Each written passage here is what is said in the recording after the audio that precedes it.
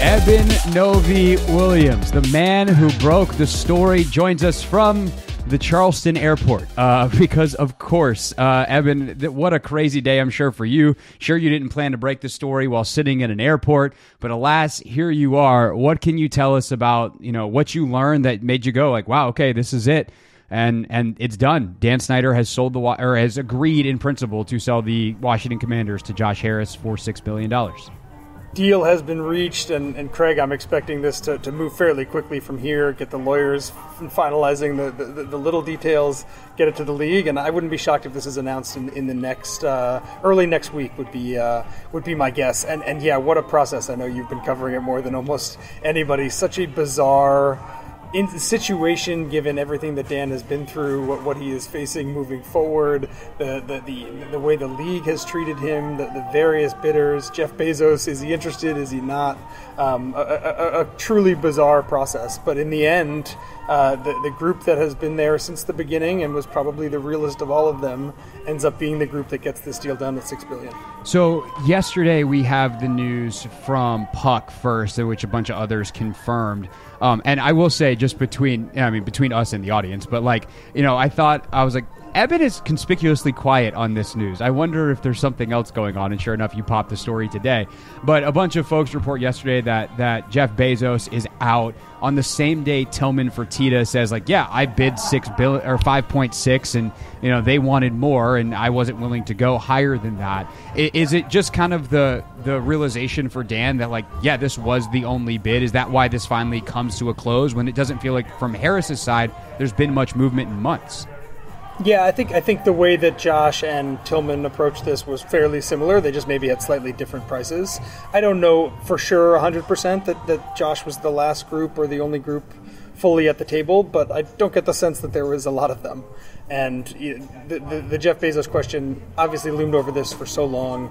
He's he's so rich and he's in such a different position that he doesn't have to go through, as you and I have talked about, doesn't have to go through any of the processes. So the fact that he had not been engaged at all didn't mean that he couldn't call up the day uh, t- t- today or tomorrow and, and, and get that deal done it seemed like once definitively that, that Dan and his people understood that that was not going to come from Jeff I do think that made this process, I think, fairly fairly simple. You look at who you have, you look at how many people are real, and if it's just Josh, again, that makes this process uh, e- even simpler. So in the end, I don't know exactly how many bidders or how many people were real, fully financed, or, or whether Tillman came with an offer but didn't have all the money and just didn't feel like it was worth going down that process. I don't know, but Josh has been the group that people have been talking about the most and been there through this process. And I don't think that his six billion dollars probably maybe a little bit higher than his original offer, but knowing Josh and the way that he invests, I, he's not someone who's going to, you know, really really splurge more than what he thinks an asset's worth. I, I can't imagine he went too too much higher than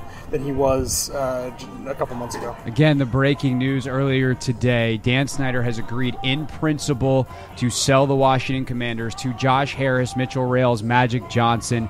That group for six billion dollars. Eben Novy Williams, who broke the news, is with us from Sportico. Uh, so about that group, is it just those three? Like, what do we know about the group? I, I heard someone say yesterday that there's more uh, folks involved here. Like, what do we know about the group, and kind of to the extent that we know anything, how it will run as an operational ownership group?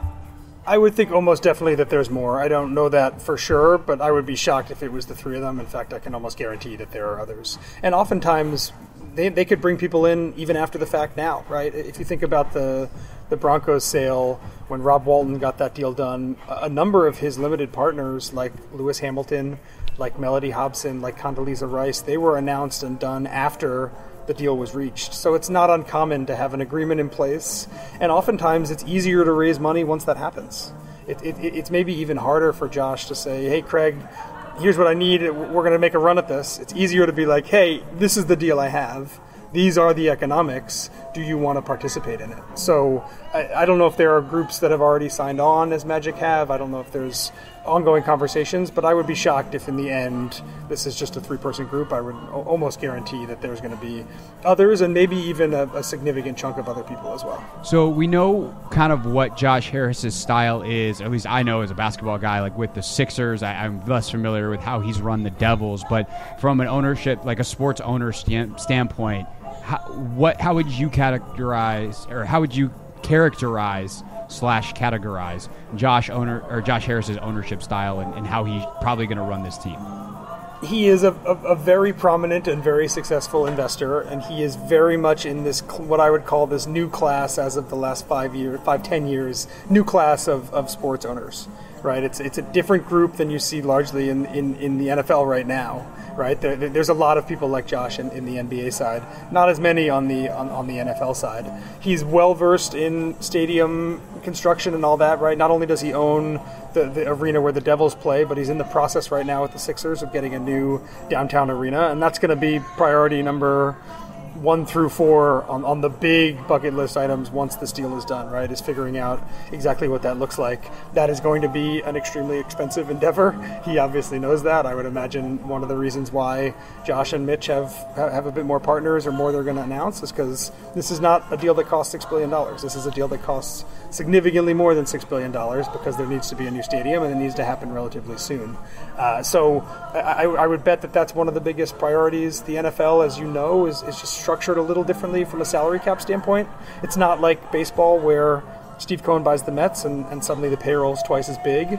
So it's it's not as though his his tolerance for spending relative to his peers is matters all that much on, from a player standpoint in DC, but it definitely matters for the stadium. It matters for things like practice facility. It matters for what you pay your coach and who your coach is. It matters for executives that you hire, all those things. And I, again, I don't expect Josh to spare any money when it comes to outfitting the commanders in a way that, that puts them in a position to win. Yeah, Eben Novy-Williams from Sportico is with us. Uh, it's worth mentioning that Harris is the guy who bought the Sixers and then greenlit the process uh, and that whole thing, which is very different than the way the commanders have been run, or for that matter, as I've spent the last couple of days railing about the Wizards, how any DC sports team has been run outside the Nationals recently. I don't even know how much of that was on purpose, but that's a that's a separate conversation. We'll return to that later.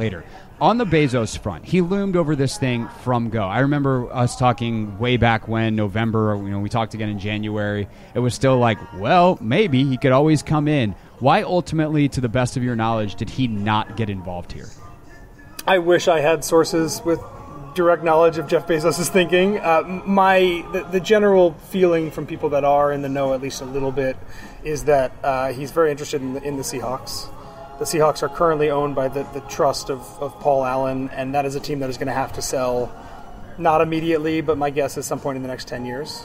And Jeff obviously has a lot of ties both to DC but also to, to Seattle.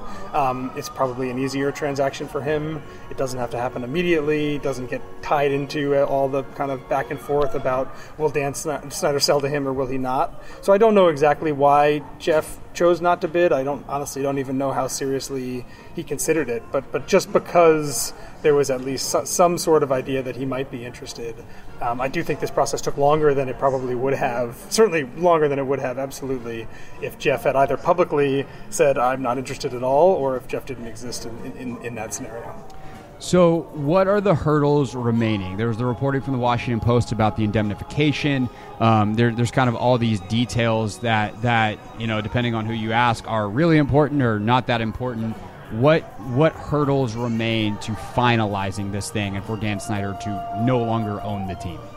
From what I understand, the lawyers currently, as, as you and I are talking on, on Thursday, going through kind of the final deal point, getting getting the, the, the nuts and bolts on, on the legal side done. Once they have an agreed contract that goes to the NFL. NFL looks through it, um, and then they, they plan to sign it. Right. I, I, the indemnification is a good question. I don't know exactly where or when in that process things happen. Um, I, I, do know, and, and, and you know this as well a lot of NFL owners like the idea of having a different owner in Washington. Um, so I imagine the league is going to want to move fairly quickly. Josh is very approvable. He is already a, a limited partner with the Steelers. So to the extent that this is a club that is wary of who they let in, he's already got a foot in the in, in the club already. Um, I don't know that much about Mitchell Rales' business, but my general feeling is that when you get to this point where you have an agreement in place, there's a pretty good understanding of what the other owners, what the league are going to feel about the prospective buyers group. So I don't imagine that the, the approval process being any sort of, a, of an issue. I don't imagine it's going to take very long, and I don't think there's going to be any surprises when this group finally does go to the vote and the consideration of all the other owners. And I'm assuming that'll happen at the, the Minnesota meetings, or will they call a special meeting potentially and do it even Some, sooner? sometimes it, it happens faster, other times it doesn't. Um, the fact that those meetings are happening relatively soon. Um, doesn't I think it could happen then, but I would also again not be shocked if if, if there's so many motivations right now to get this deal done. Um, not to mention the fact that throughout this whole process, everybody ha- has told me, and and it's honestly it's not a secret that that Dan is a fairly tempestuous businessman, right? Um, I think the idea of getting this thing papered, approved, sealed, and done, if there's any way to fast track that, I imagine the NFL will look at um, and maybe try to uh, try, try, to explore all those avenues. All right, I'm gonna uh, take my journalism professor's advice here and just at the end say, is there anything else that I should be asking you about, or anything else that you would like to add uh, to this story? No, it's, it's it's a good question, and honestly, no. But I think in the in the coming days and weeks, I think we're going to learn. Hopefully, it's it's us at Sportico, but I think you're going to see a lot more about who is who is specifically in this group. Um, I'm sure they're going to come out not in the next week, but at some point with a plan about what the stadium looks like and all that. Um, but knowing what I know about Josh, I think he's probably going to move quickly. I think he's probably going to spend a lot of money in a lot of these areas to get things in order very quickly. And I'm fascinated. My question, and obviously don't have the answer, I'm fascinated to see where Commanders fans how quickly they come back to this team. It's it's no secret that this was one of the the, the, the most attended franchises in the in, in, the NFL ten years ago, and it was lowest in attendance in the NFL last year. Um, there there is a relationship that needs to be repaired between the Commanders and uh, and and ownership and its fans, and I'm very curious if that happens automatically because someone not named Dan Snyder is owning this team, and I'm also very curious the lengths to which Josh and his group feel like they need to, to make those inroads and make those make that process back towards Commanders fans as well. Yeah. By the way, real quick, because you mentioned the stadium, like how confident are you that Josh Harris and especially Mitchell Rales, who's so connected in DC political circles, can get the RFK site if they want it? And then also, what about the I know the stadium process in Philly is super political as well. Like, how is Harris going to be able to balance those two projects, assuming they're happening at the same time? I think you nailed it, Craig. I think one of the main reasons that, that Mitchell Rales is involved in this, and one of the reasons why he is such a, a valuable piece of this puzzle, is because of his experience, real estate wise and otherwise, in the DC area. And I, I, I, think it's also, we should not discount, again, the fact that there are a lot of politicians that, that did not like Dan and did not like the way that Dan ran this team, and probably going to be a lot more amenable to having conversations with uh, someone who is not named Dan that, that, that owns this team again. So I think there's a lot of political goodwill that this group is just going to get just by virtue of again not being the old people. Um, and then yes lean heavily on, on mitch and his connections in the dc area and go from there. I don't know and i have not heard much about exact stadium sites um, so, so I, I, don't have anything really to comment on that but again, I don't I, don't think whether it's at the RFK site or whether it's somewhere else, um, I would imagine this this group is going to have what it takes to get that done and, and, and to get that process started relatively quickly. Eben Novy-Williams broke the story for Sportico. Immediately hopped on the uh, the Zoom with us here live from the Charleston airport. Eben, appreciate you, sir. Safe travels, and uh, I'm sure we'll be talking again soon. Thank you, Craig. This is the Hoffman Show on the Team 980 and the Audacy app.